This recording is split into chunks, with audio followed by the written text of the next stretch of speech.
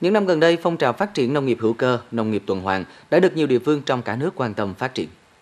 Với lợi thế của một địa phương dẫn đầu cả nước về ứng dụng công nghệ cao vào sản xuất nông nghiệp, tỉnh Lâm Đồng không nằm ngoài xu thế phát triển bền vững này.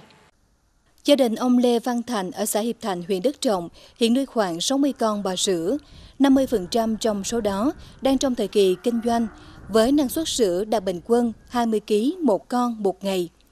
Để nâng cao thu nhập bên cạnh bò sữa, từ đầu năm 2022, anh Thành đã tận dụng nguồn phân bò để nuôi 500 m2 trụng quế.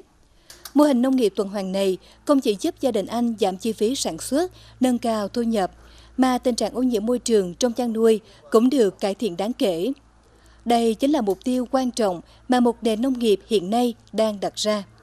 Sản xuất nông nghiệp tuần hoàn là quá trình sản xuất khép kín, chất thải và phế phụ phẩm được tái tạo và là đầu vào của quá trình sản xuất khác.